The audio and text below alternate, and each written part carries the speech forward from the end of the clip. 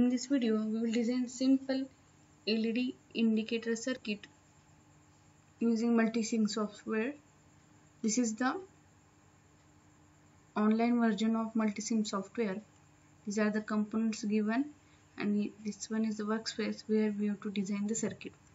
For this LED indicator circuit, we require this LED. So select on diode. So there are different types of diodes available so LED is one of the type of diode. So select this one. We can rotate this component. Then we require one resistor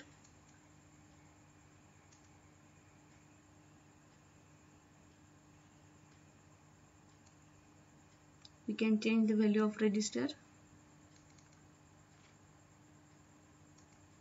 This is 330 ohm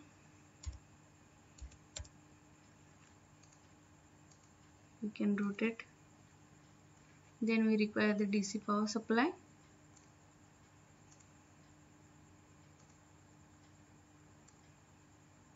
And then make the connections.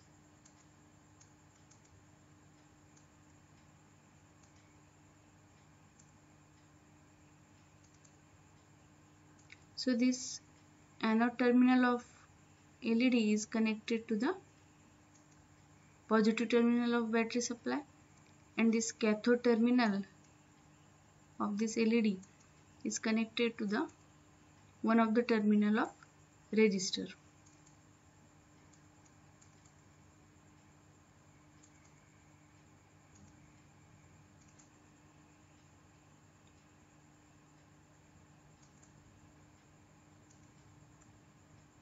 and this cathode terminal of LED is connected to the negative terminal of this DC power supply through this 330 ohm resistor.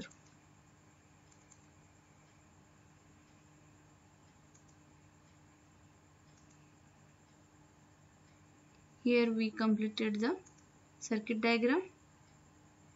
After that we have to simulate this diagram. Okay.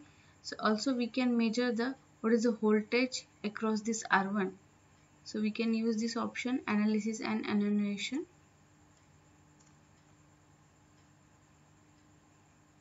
we can change the current flowing through this resistor also. Okay. Then simulate. Okay. After the simulation so what happened? This positive terminal of this battery supply is connected to the p region of this led and this cathode terminal is connected to the negative terminal of this battery supply.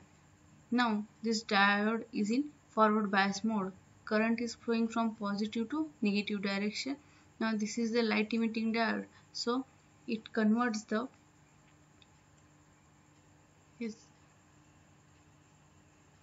that particular output voltage in terms of light energy. So it will show the node voltage this is equal to 2.6267 volt. Okay. So this is the simple method to design the circuit in multisim software